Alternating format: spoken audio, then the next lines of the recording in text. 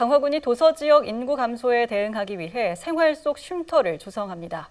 고령화와 인구 감소 등의 이유로 소멸 위험이 높은 도서 지역의 산책로와 운동시설 등 휴게시설을 조성해 쉼터를 만들 계획이라고 밝혔습니다. 이번에 조성하게 되는 쉼터 대상지는 강화군 교동면 난정리와 삼산면 성모리 등 약 7,500제곱미터 규모의 예산 5억 원을 투입할 예정입니다.